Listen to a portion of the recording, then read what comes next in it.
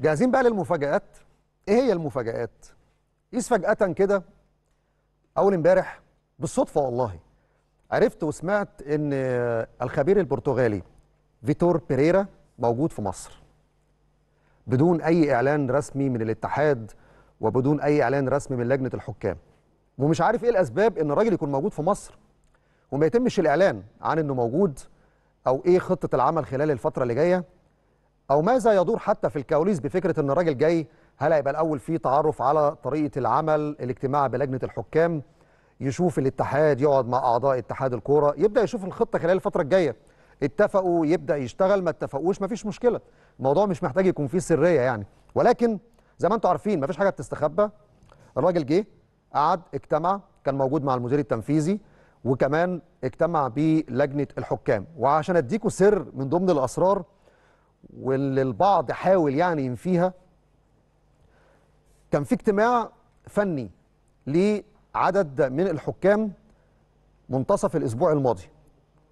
وفي الاجتماع ده كابتن محمد فاروق والكابتن توفيق السيد ما كملوش الاجتماع راحوا اجتمعوا مع الراجل الخبير البرتغالي بيريرا وبعد كده جم في نهاية الاجتماع. في التوقيت ده كانوا قاعدين معاه بيشوفوا إيه اللي ممكن يتقدم الفترة اللي جاية؟ بيشتغلوا إزاي؟ الراجل عايز يعرف كمان استراتيجية إدارة اللجنة وايه اللي دار في اللجنة خلال الفترة الأخيرة؟ وكمان بيسمع أفكارهم عشان يبدأ يشوف هيشتغل مع مين. ده حقه أكيد يعني. قصة مش قصة آه، هيجي ياخد 18000 دولار والموضوع انتهى على كده. لا لازم يعرف هيشتغل مع مين. المعلومات اللي وصلت لي في التوقيت ده إن الراجل يمكن معترض على بعض النقاط وعايز ممكن يعمل إضافات في اللجنة عايز يشتغل مع ناس ممكن تكون مراقبين اشتغلوا في الكاف أو في الفيفا محتاج رؤية أوسع شوية عشان يبدأ يشتغل الفترة الجاية. في ظل إن الاتحاد اتفق معاه على إن يكون التعاقد لمدة سنة ونص فبالتالي هو مش جاي لغاية نهاية الموسم وبعد كده يشوفه هيكمل ولا مش هيكمل. لا ده الراجل هيقعد سنة ونص. المفروض الإعلان الرسمي لتعيين فيتور بيريرا الخبير البرتغالي أو الحكم الدولي البرتغالي السابق المفروض هيبدأ أو هي- هيتم بكرة من خلال مجلس اتحاد الكورة. ولكن أنا عندي جزئيتين أهم من كل اللي فات وهما كالآتي. اولا ال job description لكل واحد في اللجنة هيبقى إيه؟ يعني مين هيبقى مسؤول عن التعيينات؟ مين هيكون نائب رئيس اللجنة؟ هل في إضافات هتتم الفترة اللي جاية؟ الراجل بيفكر إزاي؟ هل محتاج بعض النقاط الفترة الجاية عشان تتنفذ ولا لأ؟ لأن من ضمن الحاجات اللي الراجل اهتم بيها وركز عليها وإحنا كلنا عارفين إن مصر بتطبق تقنية الحكم الفيديو المساعد. فالراجل أكيد من أهم أولوياته الفترة اللي جاية التقنية اللي بتطبق في مصر. هل التقنية الحديثة؟ هل ال version أو التقنية قبل اللي بتطبق في كأس العالم في روسيا يعني مثلا أو اللي اتطبقت في قطر؟ يعني أكيد الراجل عايز يعرف آه، يعني ماهيه التقنية اللي بتطبق في مصر. هل ال version الأول اللي كان موجود أول ما التقنية نزلت ولا حصل تحديث عليها؟ دي نقاط مهمة جدا أكيد اتكلم فيها لأن كلاتنبرج كانت من ضمن المشاكل اللي واجهها وطلب تحديث فيها كانت تقنية الحكم الفيديو المساعد. يبقى دي جزئية. كل واحد في اللجنة دوره إيه؟ دي نقطة مهمة جدا. النقطة الثانية مهم جدا كمان الراجل وهو شغال مين هيبقى معاه في اللجنة؟ يعني هل محتاج عناصر جديدة ولا لأ؟ أنا على المستوى الشخصي كراجل متابع ملف التحكيم لازم يكون في إضافات في ملف التحكيم خلال الفترة الجاية. لازم يكون في إضافات لأن العدد الموجود عدد غير كافي.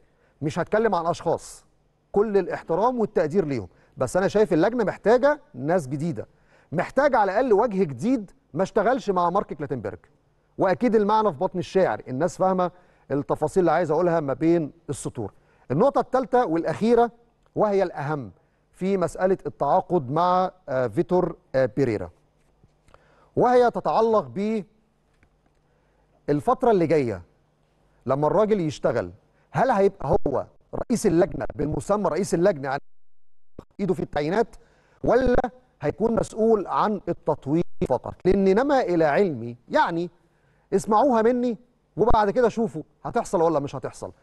إن الراجل ممكن هيكون مسؤول عن التطوير بس. ملوش علاقة بالتعيينات. هل الكلام ده صح ولا غلط؟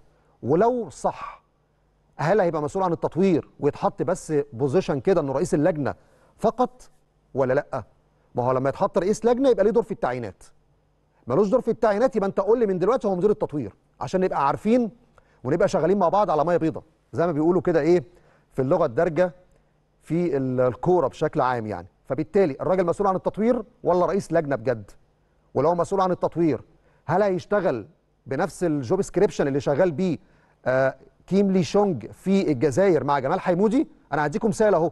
يعني في الجزائر جمال حيمودي الحكم الدولي الجزائري الشهير هو رئيس لجنة الحكام في الجزائر وجايب معاه كيم لي شونج طبعا الحكم الدولي الموريشيوس الشهير اللي كان موجود في الاتحاد الإفريقي مسؤول معاه عن التطوير. بس وهو مسؤول عن التطوير ليه دور كبير جدا في مسألة التعيينات وكمان في التقييم الإيجابي والسلبي للحكام مع جمال حيمودي. محتاجين نعرف التفاصيل دي لما الاتحاد يعلن بكرة فيتور بيريرا رئيس لجنة حكام. هل رئيس لجنة ولا مدير تطوير؟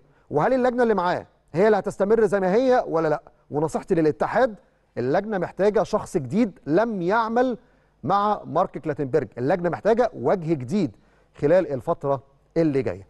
مش هحكي تفاصيل تانية هسيبها بعد الاتحاد ما يعلن عن تعيين الخبير البرتغالي. لسه عندي مفاجآت في الملف ده وزي ما قلت لكم من البداية ملف التحكيم مركزين فيه جدا ومش هنسيب فيه هفوة زي ما حصل السنتين اللي فاتوا لأن الملف ده أصبح من أهم الملفات. وأنت بتشتغل وبتعمل صفقات وتعاقدات وبتستعد للموسم لازم تركز على الجانب الآخر وتشوف الناس بتشتغل إزاي لأن للأسف أنت بتصرف وبتستعد وبتيجي ناس تانية بتضيع مجهودك بتعيينات بمجاملات بحاجات كتير حصلت في السنتين اللي فاتوا.